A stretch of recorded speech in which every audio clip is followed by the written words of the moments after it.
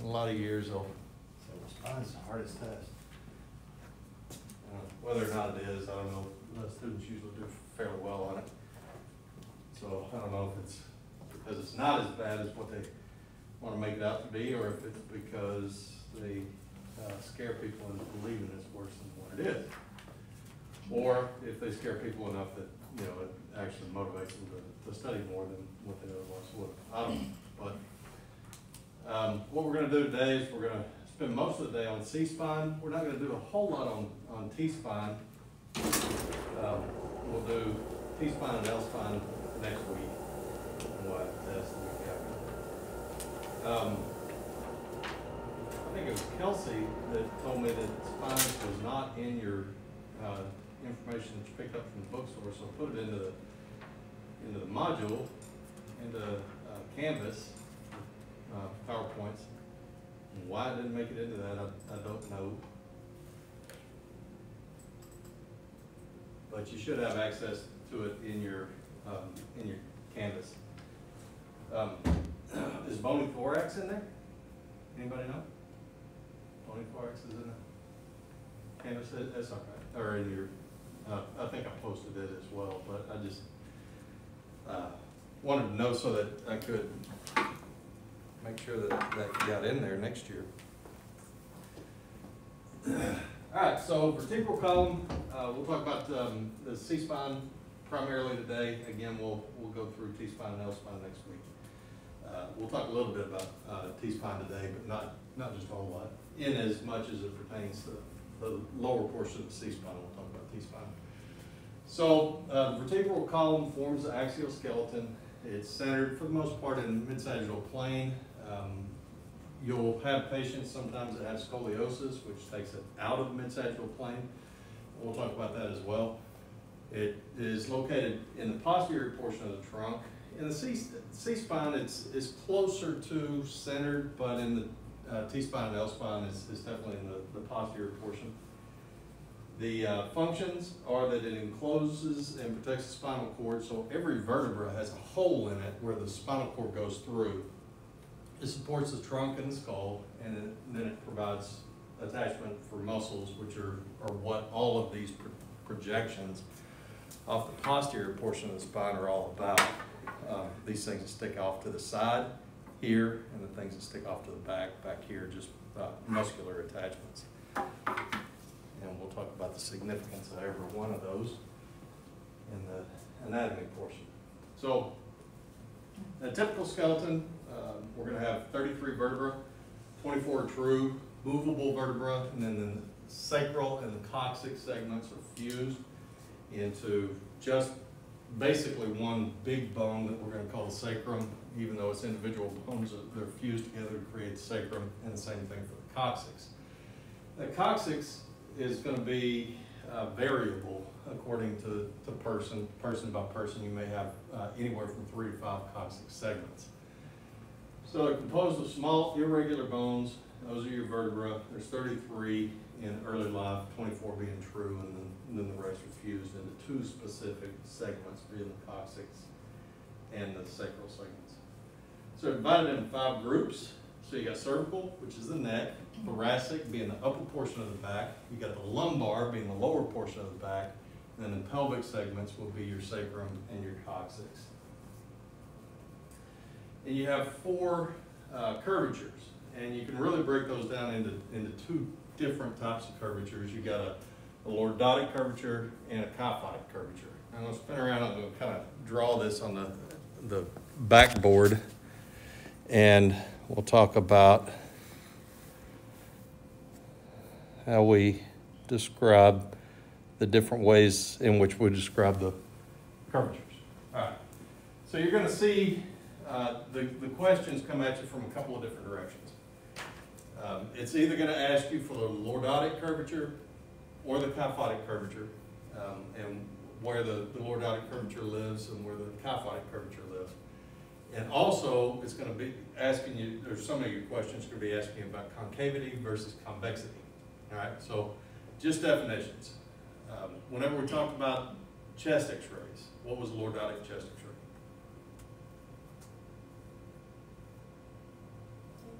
Leaning back, exactly, leaning back. So think of, of uh, lordotic as, as being a, a leaning back type uh, motion. So kyphotic is, you've got a natural kyphotic curvature in your, in your T-spine. Oh, when you're doing a, a lateral chest x-ray, you shoot a lateral chest x-ray, what you see is the, the chest and the vertebra kind of bow backwards like that. That's a little bit exaggerated, but you kind of get the point, you know, people are holding onto the bar and you see the, this curvature here, right? That is a kyphotic curvature. Sometimes people have compression fractures. Uh, your older patients, especially osteoporotic patients, the, the vertebra will collapse. That's what you call pathological fracture. It's a fracture because of pathology. The uh, vertebra weakens over time. Cortex of the bone gets thin, and they just collapse. So what you'll see in an older patient is an exa exaggerated kyphotic curvature. You've seen older patients, they, they, in their younger life, they walked around, you know, with good posture, and the older in life they got, the, the more they slunched over, right? It's an exaggerated kyphotic curvature. So the T-spine is a kyphotic curvature. The L-spine goes in the opposite direction. It's as if you were leaning back, and that is your lordotic curvature. So T-spine, kyphotic, and uh, L-spine is lordotic. Okay, so that takes care of two of them. Those are the most obvious two. But it starts to go back around in the pelvis so that your coccyx is pointing kind of anteriorly. So what you've got is a return to kyphosis in the uh, sacrum, the sacral segments.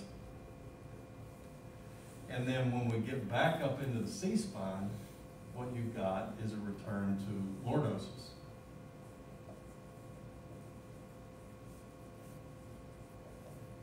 Okay, so your questions will ask, you know, what, what curvatures are lordotic? Know, that would be your C-spine and your L-spine. Which curvatures are kyphotic? That would be your sacrum or your pelvic segments and your, your T-spine, or kyphotic, all right? So the other way that it'll ask you is which one's convex and which one is concave. Well, first off, you gotta get some perspective because both are both. Kyphotic curvatures are both convex and concave depending on which perspective you're looking at. So when we're talking about convex, um, know, just word association, whenever you flex your muscle, you know, you flex your muscle, what, what do you get? Does it dent? No, it bulges. So you flex and it bulges outward, right? So you flex your muscles and it bulges outward. So you got a bulge here, you got a bulge here, you got a bulge here, you got a bulge here. All right, so the, the head is up here and the nose is pointing that way. So what's anterior? This side. And what's posterior? That side, right? So the C-spine, where is the bulge on the C-spine? Anterior, right. So anteriorly, we've got convex, right? And on the L spine, anteriorly, we have convex, right? The T spine, posteriorly, is convex. And then the sacrum and the coccyx, posteriorly, is convex. Okay?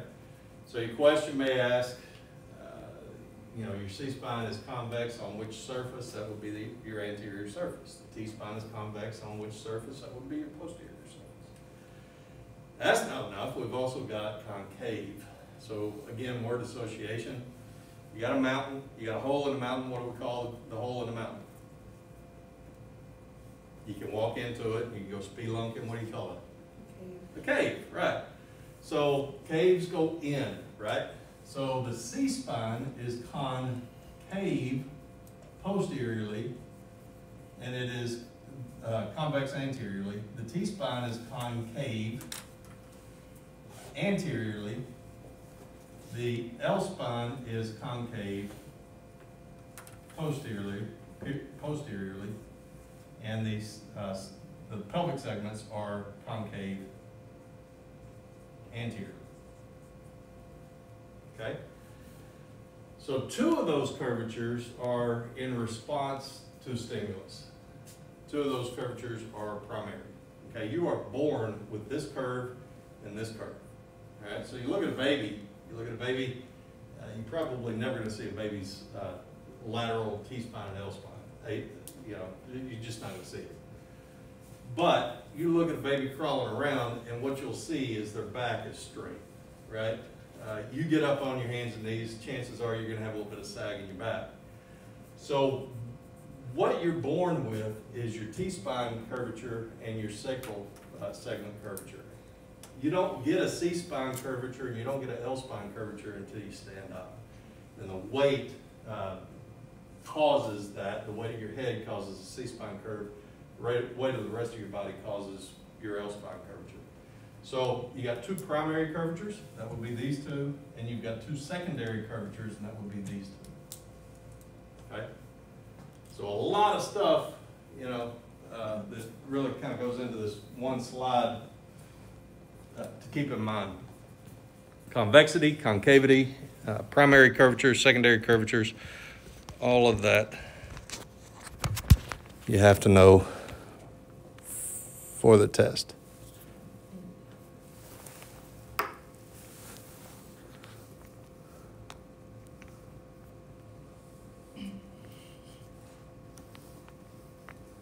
There we go.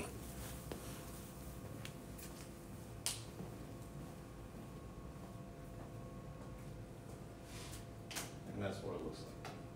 It's explained on the slide. All right, so the vertebra, each one of the vertebrae is separated by a disc, intervertebral disc. That's what these little um, cream-colored things here represent. So you got the vertebra here, the big blocky thing, then you got a disc in between. This thing down here is supposed to represent a herniated disc. All right, so you've heard of people saying, well, I got a herniated disc, and you've heard other people say, I've got a slip disc, right? They're the same thing. It's kind of like the difference between a fracture and a broken bone. They're the same thing. Um, what happens there is that the disc is made up, you can almost think of it kind of like a, a uh, textbook or a phone book. So you got individual little bitty pieces of fibrous stuff that go together to create the book, right? But imagine your book having some, like some jello on the inside of it. Jello is not gonna come out until some of those pages are torn, right? So you tore, tearing up those pages and some of the goo that's inside the book comes out. And that's uh, basically a slip disc. You know, where the, the analogy fails is that that doesn't just leak out into the peritoneum. It's, it's just this goo that is still attached and we gotta do something with it. So it's separated by the intervertebral discs and they act as cushions uh, so that you don't have bone on bone. So the disc is composed of the annulus fibrosus, which is the outer portion, and then you've got the nucleus pulposus, which is the inner portion. So a herniated disc is where you've got a tear of that annulus fibrosus and some of the nucleus pulposus is coming out. And it's really not all that big of a problem until it becomes a problem. So what you've got is a disc that's going around all the way through in between the, the individual vertebrae. So if you got a slip disc and it's pushing straight out front, then it's not pushing on anything. It's pushing on abdominal contents. Big deal. You got water pushing on water. It's really not all that big of a deal. And what this is trying to show is that if it's pushing back towards where it would mash a nerve right up against the bone, now you got a problem, right? Um, because the, the nerve needs blood flow, and if you compromise blood flow or stimulate that nerve, then you're going to have some pain. And the pain in a lot of cases is not going to be at the point of, of pressure um, because that nerve is receiving signals all the way down from your feet and your toes. So what a patient may experience, depending on where the and how where and how the nerve is stimulated, what the patient may experience is not pain here, but pain somewhere else. So you've heard of phantom pain, right? Somebody loses their leg and still their foot itches. Well, the reason for that is because the nerve is still intact proximal to where the, the amputation was. So the nerve still thinks the foot's there, right? So if that nerve proximal to where the foot was gets stimulated, like an itch on a, on a foot, the patient will experience an itchy foot even though the itch isn't there. Kind of the same principle here. So if you get a mash of that nerve here, then the patient may have numbness in their toes or pain in their, their leg as opposed to actual pain, you know, at, at the point of, of compression of the nerve.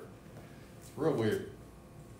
And we can predict where the patient's um, likely compromised nerve is based on what their, their pain is. You know, if they're hurting on toes two, three, and four, then it's probably gonna be at one level. If it's one and two, it may be at a, a different level altogether. So, uh, just a, you know, graphic of, of how the, the curvatures look. We've got seven cervical, we've got twelve thoracic. Typically, we're gonna have five lumbar. Typically, we're gonna have five sacral segments, and then we'll have anywhere from three to five coccyx segments. Probably the most common deviation of this, uh, not counting the, the sacral segments, are two things. One is, in a lot of cases, you'll see a patient with only four lumbar vertebrae. And it's an incidental finding, they had no clue that they had four lumbar vertebrae. And uh, once in a while, you have a patient who has small ribs that stick off of the seventh cervical vertebra. You've got 12 thoracic vertebrae, one for every rib. So you should have 12 sets of ribs. But uh, some patients, it's pretty rare. I don't know that I've personally ever seen it, uh, but it's common enough that it makes its way into every uh, textbook. And that is that sometimes patients will have what we call cervical ribs. And cervical rib, cervical ribs, um, in a lot of cases, the patient will have some, some upper extremity issues um, just because of the compromise or the compression of the nerve because of the ribs. So those two common, very common, um, or somewhat common, um, uh, spinal deviations. Probably most common, the most common one that I see, though, is what we call transitional vertebra. A transitional vertebra, uh, the cervical ribs is an example of transitional vertebra, but what you're going to see more often is uh, what you'll have is uh, T, I'm sorry, L5 rather takes on the appearance of a sacral segment, but you've still got a um, uh, disc there. So it's not really a sacral segment, it is L5. But it takes on the appearance of sacral segment, so it's, it's got a very sharp curvature to it, or a, a very sharp wedge shape to it. So that's one. And number two is that sometimes you'll see uh, L5 anterior to the anterior alignment of L5S1. In other words, L5 will be sticking out here somewhere. Again, incidental finding in most cases is what we call spondylolisthesis. And most of the time, the patient's not going to have any kind of problems with it. And it is an incidental finding. It just looks awful. It looks like what we call subluxation. Subluxation is where we've got one vertebra that slides um, anterior to the other vertebra.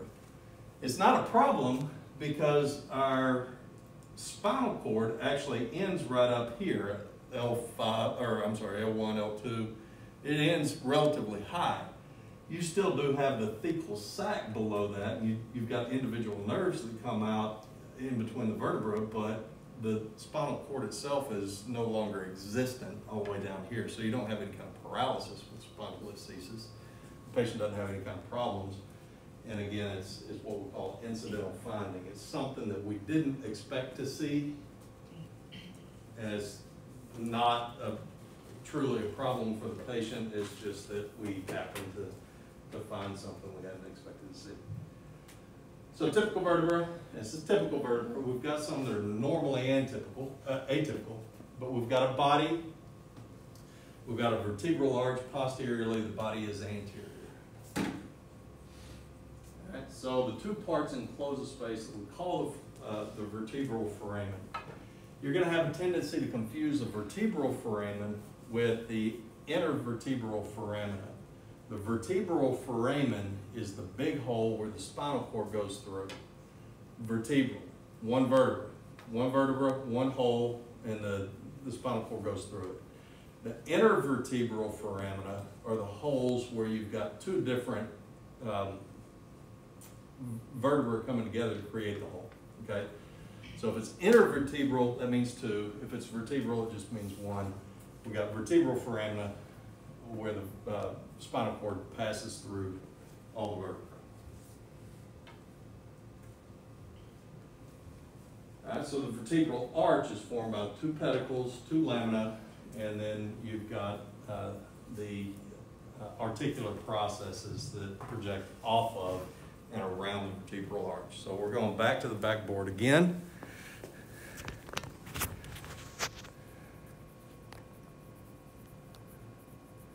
We're going to draw that out.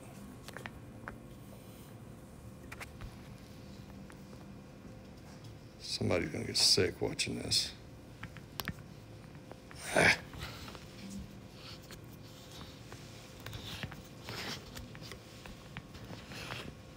All right.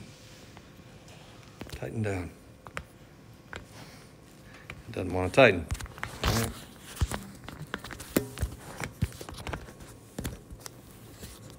There we go.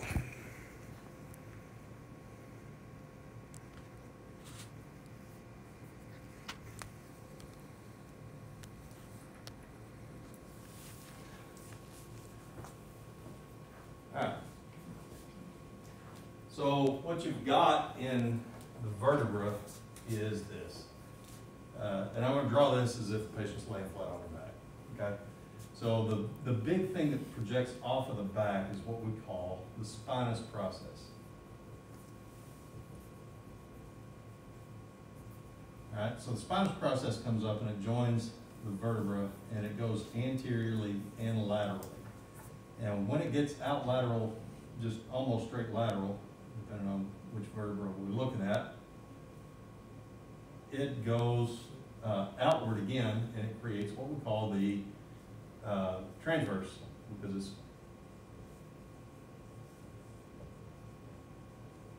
projecting out transversely. And then those go anterior, they go back towards midline, and then they go anterior, and off of the an- uh, off of the anterior of that, we create the body. Okay, so what we have posterior to the body is the vertebral foramen. So what we have here is what we call the lamina. The lamina is where the transverse processes come back to meet with the uh, spinous process. That's the lamina. Up here, what we have is, you know, again, word association, what we have is what we call the pedicle. Okay, so you can think of the pedicle as what's holding the body up. So Word association, if you have something that you really like to take care of, uh, something that you, you really want to display, you put it up on a pedestal. Exactly. So pedicle, kind of what the body hold, is, is kind of what the body holds up. I just drew the vertebra for the elephant man, apparently. And what we've got is here the intervertebral disc. So that if the intervertebral disc, we get a, a rupture of the disc, and it pushes back there, then what we've got is fluid-filled structures being pushed up against bone. You can't compress fluid. Uh, it just doesn't compress. Can you see okay? Okay, so you, you can't compress fluid. So the problem is that whenever we have uh, an attempt to compress fluid, what we have is displacement. Okay, so you eat a great big meal and you lay down on your belly. You overate at a buffet, you lay down on your belly. What, uh, what do you, what, what kind of sensations do you feel? Can you breathe well? Most of the time, no. Okay. So what happens there is you lay down on your stomach and all that fluid uh, that is makes up your abdominal cavity plus all the food and the, the drink that you had mashes up and it, it's got to go somewhere so it pushes your diaphragm up and you can't breathe real well. So here, if the disc slips back and it mashes into the, the spinal cord, then what's going to happen is the spinal cord that might be shaped like that If it continues to mash, what's gonna happen is the spinal cord is gonna be pushed into the bone. And then, of course, again, we've got some problems with, uh, compromised nerves. So what they'll do, anybody been to surgery? Nobody's been to surgery yet? Okay, okay. Um, lumbar laminectomy where they were working on the back, did y'all see that? You will eventually if you haven't. So what they do is, uh, in some cases, they'll, they'll fuse vertebrae together, they'll go in and actually take the disc out, completely remove the disc and, and fuse a couple of bones.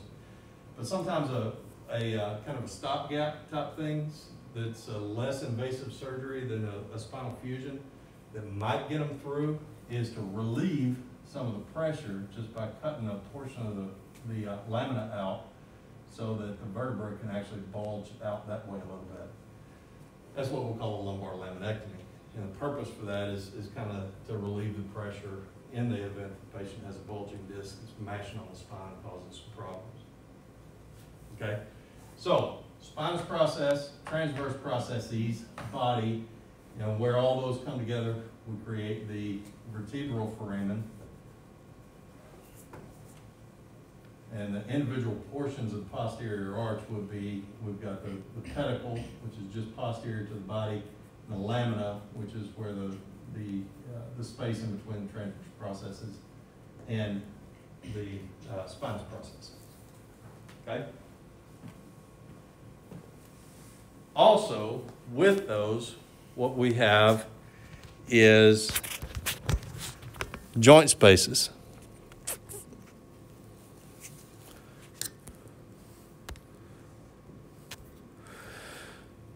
So the vertebra don't just articulate at the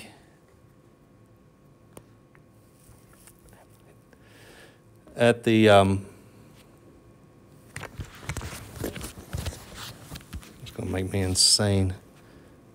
Don't just articulate at the disc space, but you've actually got some bony joint spaces in there as well. Okay. So can you see that line right there and there and there? Can you can you kind of make those out? If not, I can pass this out. But you've got articulations here. These are actually cartilaginous articulations, and it's what we call a facet joint, also known as a zygapophyseal joint.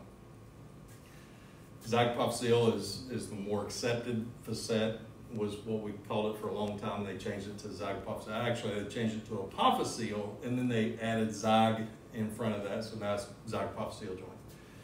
So if you've ever known anybody that had uh, arthritis in their neck or in their back and they needed facet injections, that's what they're doing is they're injecting some steroids into that joint space to relieve some of the, the pain in that joint space, inherent in the joint space.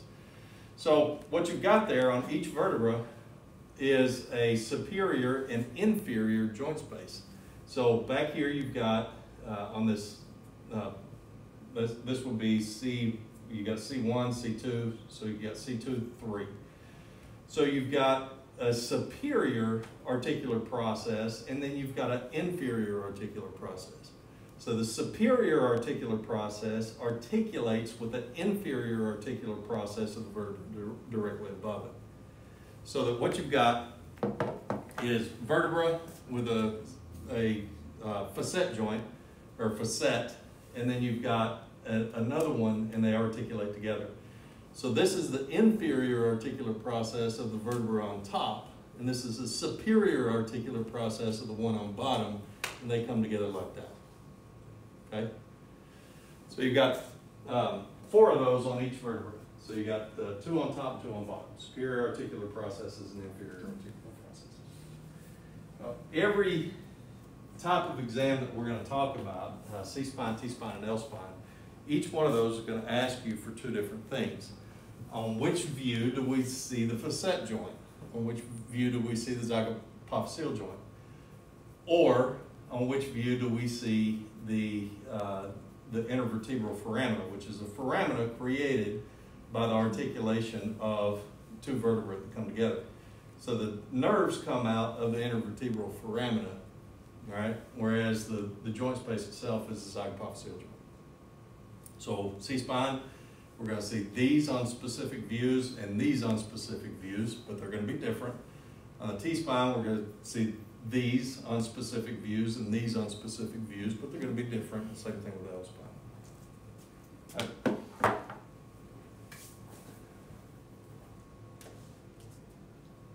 So pedicles project posteriorly, Ogmus concave form the vertebral notches, um, and the two vertebral notches from the vertebra above and below come together to create intervertebral foramina. The foramina is where the nerves come off. Again, the foramen is where the spinal cord passes through. The vertebral foramen is where the spinal cord passes through. The intervertebral foramina is where the nerves come off of the spinal cord and eventually go down into the extremities, wherever it is that they need to go. So lamina project posteriorly from the pedicles uh, towards the, the spinal process.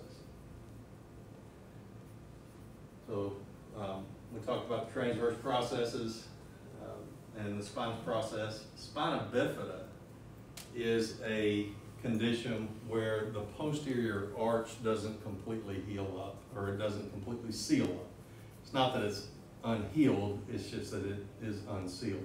It should be fused eventually, but sometimes instead of coming together, you know, the posterior arch where they go like this, what they do is it's like they miss and they go like that. And most of your patients who have spina bifida don't even know it. Uh, spina bifida is a congenital condition. You're either going to have it or you don't. And uh, different textbooks say different things, but uh, there's a condition called spina bifida occulta. Uh, it's like occult, uh, you know, like you're in a cult, uh, but with an A after it. But anyway, that's a asymptomatic spina bifida that you somebody in this class probably has it and you have no clue. Uh, a significant portion of the population, maybe, I don't know, different textbooks say different things, but maybe as many as 20% of the population has it. I might have it, I don't know. But it's asymptomatic, you, you'll live your life without even knowing it. Where it becomes a problem is if that separation between those two portions of the posterior arch are so great that a portion of the spinal cord comes out and the thecal sac comes out, that's when you have a problem with spina bifida. Okay, so spina bifida occulta is no big deal. Spina bifida, true spina bifida, what we consider, what we think about when we think of spina bifida, uh, most likely the patient's, uh, there's a very good chance that, that there would be, uh, if you had a spina bifida patient, paraplegic, right? So, uh, don't be surprised if if you happen to see somebody that just is a walkie-talkie patient that comes in, somebody says, yeah, they got spina bifida. Most of the time, it's no big deal. So we talked about this. Those are your articular processes. Again, you've got body, you've got pedicle, you got a, uh, if this is the superior aspect, that will be your um, superior articular process, you got transverse process, you got posterior arch with lamina, you got uh, the uh, spinous process. From the side, we've got the, the facet, notice it says facet. Uh, facet is just a, a, place to receive something else. And usually, you, you don't see facet except for in two different places. Most of the time that we're talking about facets, we're going to see facet mentioned in only two places, and that is in the spine, really only one place, that's in the spine, but specific to articulation between the spines, uh, the spinal vertebra, but also you got a facet out here. Now, every type of vertebra are going to have distinguishing markings to them, okay? So we got a, a, a, facet way out here on the, the uh, transverse process, and uh, that's unique to one specific portion of the vertebral column. We've got a facet here that articulates with the inferior articular process of the next vertebra to create the intervertebral arch. But we got this weird little facet right here and a facet right there. Okay? And what those are specific to is the T-spine. So what do the T-spine vertebra articulate with that no other, unless you have, you know, this transitional vertebra in the cervical spine, What do they uh, articulate with that no other portion of the spine does? Ribs, right. So that's a rib facet is what those are. Uh, so the rib touches the body and it also touches transverse process. So what's unique to the T-spine is that. So if you see on the test uh, vertebra and it says, what kind of vertebra is this? And you see those two funky little spots right there, you know that that is only one type of vertebra. And that would be the C-spine, T-spine, L-spine. T-spine, T-spine vertebra, right. All right, so uh, cervical vertebra, we've got seven. They occupy the neck. The unique features of the C-spine is that they've got a transverse foramina located in the transverse process. This is not the same as the intervertebral foramen. What we've got in the C-spine is blood supply that goes through the vertebra itself. You see this red thing right there? It's supposed to be representative of the vertebral artery that goes up into the, the brain. All right, so you've got, since you've got that blood flow going directly through the transverse process, you got to have a hole in the transverse process for the blood supply to go through it, right? So if you're looking at a vertebra again, and you're looking at the superior inferior aspect of it, and it's got a hole in a little bitty tiny transverse process, it's only going to be one type of vertebra that has that hole in the transverse process, and that would be a C-spine vertebra. Right. The other thing is that on the posterior portion, you probably can't see this from uh, where you are, but on the posterior portion, on the, on the, uh, the uh, spinous process, you've got uh, a split. So snake has a, a tongue, it's bifid, it's forked, right? The, the um, spinous process on C-spine vertebra are also bifid, so that they, you know, acute flexion and extension, you can get a little bit more extension uh, if they're a little bit split. So two things that are going to be specific about C-spine vertebra. One is that transverse foramina, but the other is that the spinous process is going to be split. So just right at the end, it splits and it's bifid. So you got two in the C-spine that are truly unique. Uh, C1 is called the Atlas. In Greek mythology, the god carries the world around on his shoulders, that's his, his name is Axis. All right, so C1 is Atlas, or I'm sorry, Atlas. Uh, C1 is Atlas, it carries the head, all right, and then the axis is C2. And the reason we call axis C2 is because it's got kind of like a, a uh, the book says it's like a tooth-like projection off the anterior portion of the body. And it's what we call the odontoid process. So it sticks up, and what you've got is the ring of C1 that fits right over the top of it so that you can pivot your head. Whenever you turn your head, most of that pivot comes between C1 and C2. You get a little bit of a turn uh, between different vertebrae, but most of that pivot comes from C1, C2. So that's where the, the turn comes from, is uh, all the way up to C1, C2. C7 is also atypical uh, in that it's got a great big long spinous process. So if you feel the back of your neck, that knot on the back of your neck, that what you're actually feeling is what we call the vertebral prominence. Because it's prominent, it's that knot on the back of your neck is, is what you're feeling is the spinous process of C7.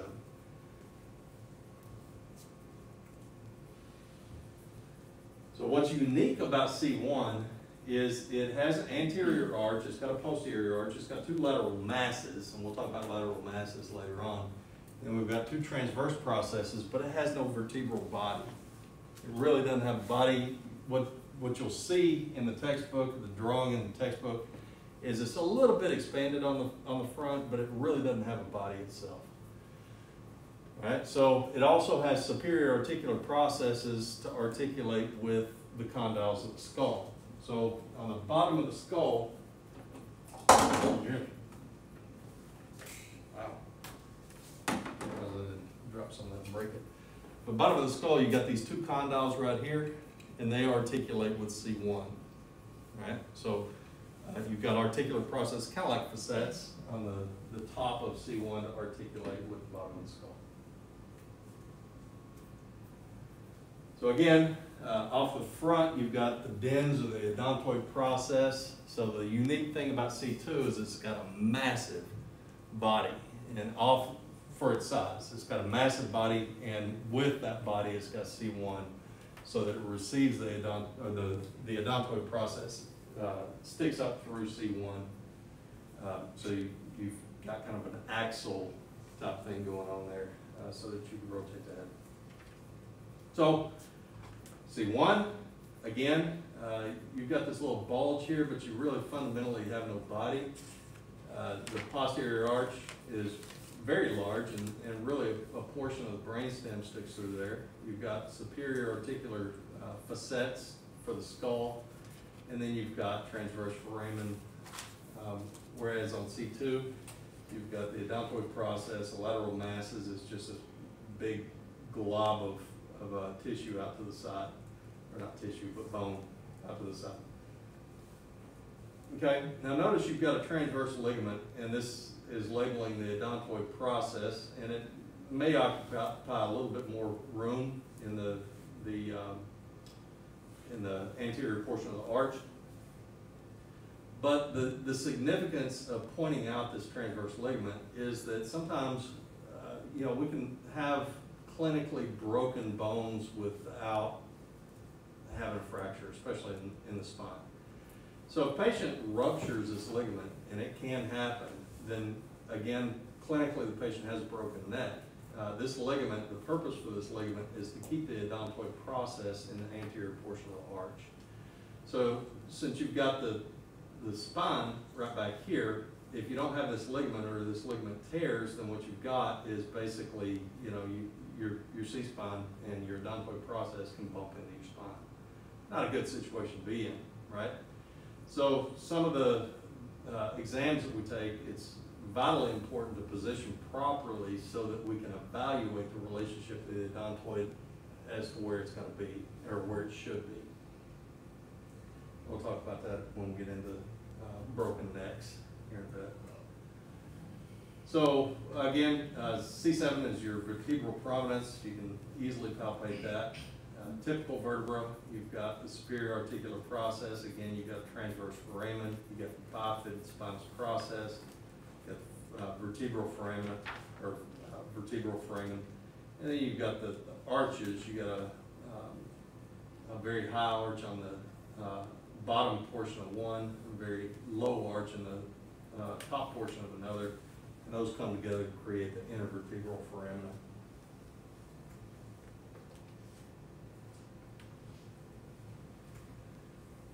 We'll go about five minutes and then we'll we'll take a break. Uh, so patient preparation. uh, Um, with a C-spine, what, what you need to do is, uh, if, if your patient's not in a collar and you can, you want to take the, uh, any necklaces off of the patient, or take any earrings out. If the patient's got any kind of uh, dentures, you ask them to pull those out as well. You're going to have a, a problem sometimes um, if the patient's in a collar, and if the patient's in a collar, uh, digging down to get to the earrings, digging uh, around to get to the uh, to the necklace, if the patient has a high likelihood of having some sort of cervical injury, probably pretty counter, uh, counterproductive. Um, you know, because if you start digging around into the patient's collar trying to get their earrings, somebody starts poking on the side of your head, what are you going to do? Yeah, you're going to have a tendency to move your head a little bit. And if they've got a cervical injury, it's probably not a good thing to do, right? So sometimes you'll have to make a judgment call. If you've truly got a trauma and they suspect that the patient has a broken neck, then you're probably going to leave that stuff on or have somebody else take it off. Have the, the uh, ER doc remove the collar and take that stuff off if it absolutely has to come off. But if the patient can, you want to remove all that stuff.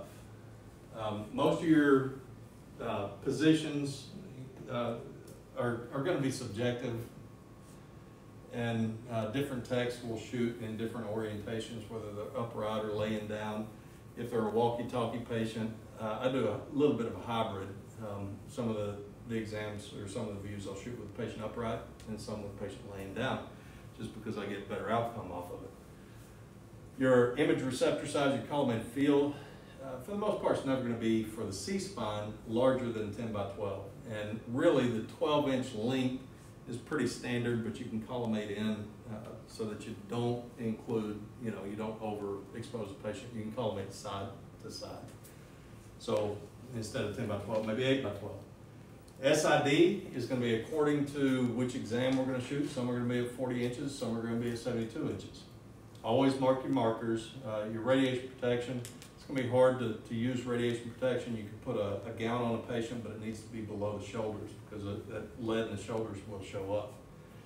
And patient instructions, most of the time it's just gonna be exhalation. But, uh, some of the views, we're gonna have the patient do some, by the book, uh, certain things, and we'll talk about. So earrings, necklaces, any kind of clothing artifact need to come off the patient. Um, some upright, some with the patient's laying down. If it's trauma patient, obviously, you're not gonna stand the patient up, you're not even gonna move the patient if it's true trauma patient.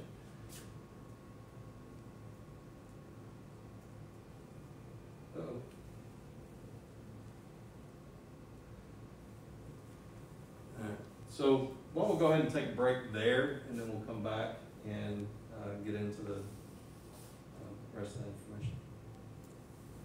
I want to see.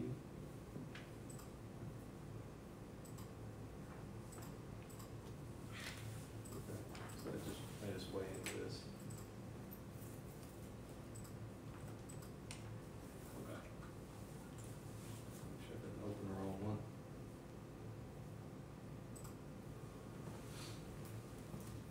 All right, let's take ten minutes and then we'll pick up from there.